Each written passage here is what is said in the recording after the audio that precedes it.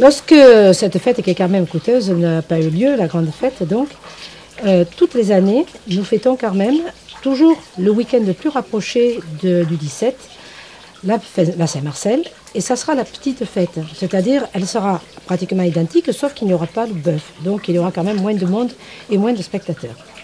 Donc, pour toutes ces fêtes, grandes ou petites, eh bien, la première des choses, c'est les aubades.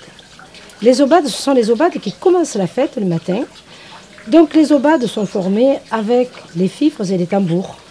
Certains sont de Barjol, mais il y en a énormément qui viennent de Saint-Tropez, de Sainte-Maxime, de Signes.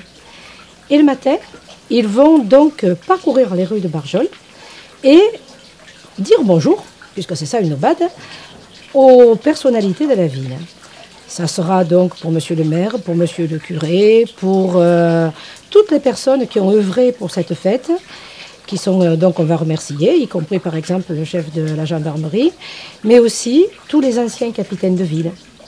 Et devant ces personnalités, le cortège s'arrête, le cortège des aubades s'arrête, et les soldats qui suivent, donc là, qui forment la bravade avec euh, les tromblons pour faire du bruit, vont se mettre devant cette personne.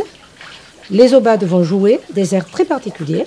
Et puis, lorsque le crieur dira que l'on remercie donc cette personne, eh bien, ce sont les salves de tromblons qui vont retentir euh, dans tout Barjol. Donc, le réveil des Barjolais, le samedi et le dimanche, il est fait avec les tromblons.